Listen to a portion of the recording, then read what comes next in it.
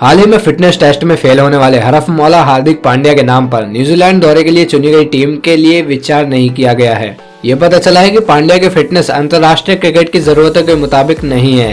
अंतर्राष्ट्रीय क्रिकेट में वापसी के लिए उन्हें बड़ौदा के लिए कम से कम एक घरेलू मैच खेलना होगा। इसके बाद ही दक्षिण अफ्रीका के खिलाफ खेली जाने वाली घरेलू एक दिवसीय श्रृंखला के लिए उनके नाम पर विचार होने की संभावना है। पांड्या ने गेंदबाजी कार्यभार से जुड़ा परीक्षण नहीं किया था, जो पीठ की चोट से वापसी करने वाले गेंदबाज के लिए ज़रूरी होता है।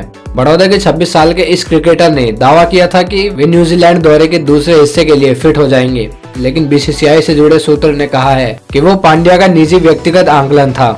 बीसीसीआई के एक सूत्र ने गोपनीयता की शर्त पर कहा, उसे लगा होगा कि वो फिट हो गया। लेकिन उसके ट्रेनर एस रजनीकांत के दावों के उलट वो फिटनेस टेस्ट में फेल हुआ। ये यूयो टेस्ट नहीं था, लेकिन गेंदबाजी फिटनेस के लिए वे कार्यभार परीक्षण में विफल रहा, जिसका मोटे तौर पर मतलब होता है कि फिटनेस टेस्ट में फेल होना। दोस्तों, इस वीडियो में फ़िलहाल इतना ही। देश और दुनिया की अन्य खबरों के लिए चैनल को सब्सक्राइब ज़रूर कर लीजिए। धन्यवाद।